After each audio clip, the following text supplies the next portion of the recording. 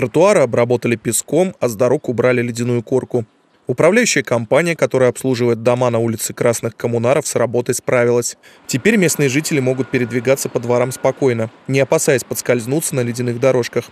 Коммунальщики взялись за лопаты только после вмешательства главы города. Елена Лапушкина раскритиковала их работу во время объезда дворов промышленного района. Очень быстро и эффективно сработала администрация промышленного района. Выезжал сам глава. Теперь можно будет удобно ходить. Дороги расчищены, а, входная группа посыпана песком. Подходы к подъездам были расчищены, обработаны противогололедными средствами. И отмостки тоже. Прошел трактор, а, значит, дороги расчищены. Недостатки на сегодняшний день в полном объеме устранены. Жители домов на Краснодонской тоже довольны. Сейчас здесь работает тяжелая техника. Дороги приводят в порядок. После того, как она посетила наш двор, мы видим такие изменения, которых вообще не было в нашем дворе. Заработала техника, заработали дворники, дороги прочищены. Это просто фантастика.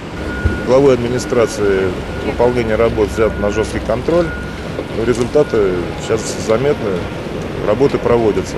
Управляющие компании, которые халатно относились к своим обязанностям, будут привлекать к административной ответственности. Им грозит штраф до 30 тысяч рублей. Анатолий Головко, Константин Головин. События.